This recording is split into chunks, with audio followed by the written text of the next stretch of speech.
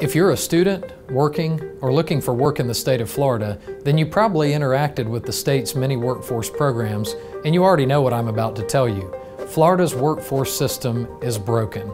And I agree. None of this serves Floridians or their families. We need change.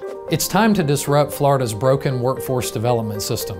Time to reimagine a network that works for everyone and sets our state on the path to prosperity.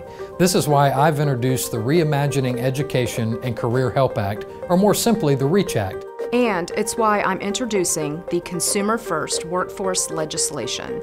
Let's delve into the problems with Florida's workforce development system and explore the solutions our bills provide. We have to start with the federal government, which provides funding for these workforce programs. With federal funding comes inflexible rules and requirements that force Florida to spread services across several different agencies. Most of these do not communicate or share data. Imagine an orchestra where everyone is playing their own song with no direction and no conductor. All you would hear is a mess of sound.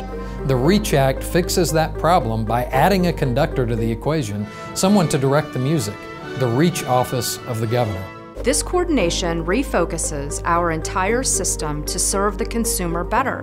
When one of them, let's say a job seeker trying to learn welding, accesses one agency's services, they are not well connected to the other agencies and their services. The Consumer First Workforce Bill creates a single workforce information system that connects all these agencies together.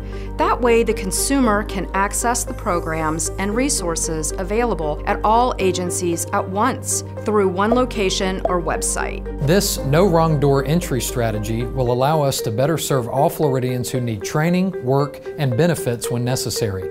But there is another aspect of the system that we need to dive into. We can finally know what is and isn't working. Our workforce faces both short term and long term challenges. In the short term, we have things like the COVID 19 pandemic, and in the long term, we have things like workforce automation. To face these challenges, we need a pipeline to drive consumers to the in demand jobs that companies need to fill today and tomorrow. Let's look at just one aspect of this credentials. Floridians can obtain lots of different credentials that set them up for a future career. Some of these are highly valuable, and some are worthless. By assigning consistent success metrics across all of them, we will learn which ones are working and let the consumer make an informed decision on which to obtain. To achieve this goal, the Consumer First Workforce Bill creates an entirely new credentialing system and aligns employee skills with employer demand. So, to sum it up, our workforce system isn't getting the results Floridians desperately need as we enter the 21st century. Whether through a lack of transparency or accountability or expectations, our system isn't working. The REACH Act fixes all of this. It lays the foundation for a reimagined workforce network.